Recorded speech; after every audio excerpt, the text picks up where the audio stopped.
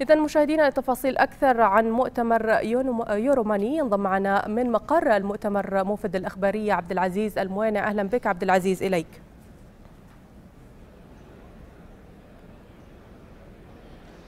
صباح الخير زميلتي مها صباح الخير مشاهدينا الكرام مشاهدي القناة الإخبارية. طبعا اليوم تتواصل فعالية اليوم الثاني لمؤتمر اليوروماني في هذه الدورة 13 التي تقام هنا في العاصمة الرياض. هذه الدورة التي افتتحها صباح البارحة معالي وزير المالية الأستاذ محمد الجدعان وكانت بحضور العديد من الشخصيات الاقتصادية وممثلي شركة أو ممثلي يوروماني العالمية. أيضا كان هناك العديد من جلسات وحوارات النقاش التي بدأت في صباح البارحة وانتهت تقريبا مع قرابة الساعة الثالثة عصرا واستمرت اليوم في ساعات الصباح الأولى. طبعا تناقلت أبرز تناقلت الأخبار كلمة معالي وزير المالية التي فرضت لها الصحف العديد من من صفحاتها. تحدث معالي وزير المالية خلال كلمة افتتاح مؤتمر يوروماني في صباح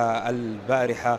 تحدث عن نقاط مهمة كان يمكن أهمها التي ركزت عليها وسائل الإعلام ما تحدث حول حفظ أو خفض العجز بمقدار 7% في ميزانية هذا العام. مع نهاية ميزانية هذا العام هناك مستهدف من قبل وزارة المالية بخفض عجز الموازنة إلى 7% كان هذا محور مهم جدا ركزت عليه الصحف في في تناقلها لأخبار اليوروماني لصباح هذا اليوم. أيضا كان هناك إشادة من قبل صندوق النقد الدولي. تناقلتها أيضا جلسات اليوروماني في البارحة بإشادة صندوق النقد الدولي للإصلاحات الاقتصادية التي قامت بها المملكة العربية السعودية التي كان التي كانت هذه الإصلاحات أحد أهم المحاور التي دارت عليها جلسات النقاش في مؤتمر يوروماني. أيضا كان مع بداية هذا العام أصدرت الدولة سندات دين دولية.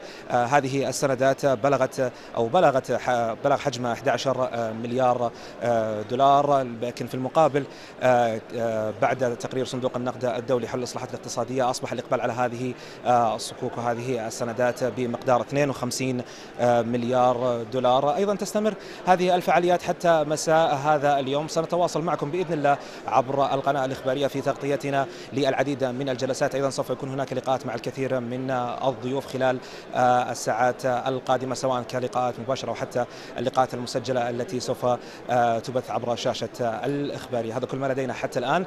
العودة بالصوت والصورة لك زميلتي مها في استوديو أموال ومسارات. نعم كل الشكر لك زميل عبد العزيز الموانع من مؤتمر يورو ماني السعودية في دورته الثلاثة عشرة. شكرا جزيلا لك.